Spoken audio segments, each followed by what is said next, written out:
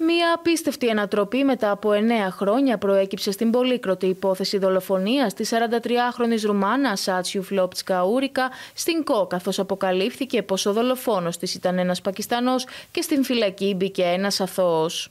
Σημειώνεται ότι η άτυχη γυναίκα είχε βρεθεί το 2014 νεκρή στο μπάνιο του σπιτιού της. Η 43χρονη ήταν μητέρα τριών παιδιών, ενώ κατηγορούμενος ήταν ο 54χρονο υπήκος Αλβανίας Ζώτο Γιάννη, ο οποίος από την πρώτη στιγμή αρνήθηκε την εμπλοκή του στο ιδεχθέ έγκλημα που συγκλώνησε το Πανελλήνιο εκείνη την εποχή. Το πάζλ της δραματικής υπόθεσης φαίνεται να έχει συμπληρωθεί με τον δράστη που για χρόνια διέφευγε να βρίσκεται στα χέρια της αστυνομίας και τον σύντροφο της άτυχης γυναίκας που είχε προφυλακιστεί άδικα να δικαιώνεται. Συγκεκριμένα το έγκλημα φέρεται να διέπραξε ο Πακιστανός που είχε αφαιθεί ελεύθερος με περιοριστικούς όρους και στη συνέχεια έφυγε από την Ελλάδα και συνελήφθη για ληστεία στη Γερμανία. Κλειδί για την αποκάλυψη της αλήθειας ήταν τα αποτυπώματα που βρέθηκαν στο μπάνιο του εγκλήματος. Μετά από αναλύσεις διαπιστώθηκε ότι ανήκαν στον Πακιστανό κατηγορούμενο, ο οποίος διέμενε με ομοεθνείς του σε διαμέρισμα ορόφου στην ίδια πολυκατοικία όπου διαπράχθηκε το έγκλημα.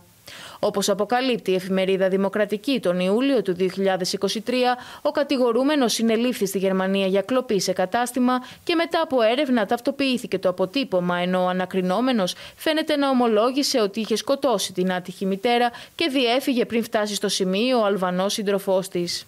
Υπενθυμίζεται τέλος πως όταν ο 54χρονο επέστρεψε από την δουλειά και είδε τη σύντροφό του νεκρή, ειδοποίησε τους αστυνομικούς σε κατάσταση σοκ, λέγοντας: Τη φάξανε ρε παιδιά, δεν μπορώ να το πιστέψω. Ποιος το έκανε ρε παιδιά; Ο 54χρονο υποστήριξε ότι ο ίδιος με τα κλειδιά του άνοιξε την πόρτα του διαμερίσματος, όπως και την μπαλκονόπορτα, η οποία ήταν κλειστή αλλά όχι κλειδωμένη.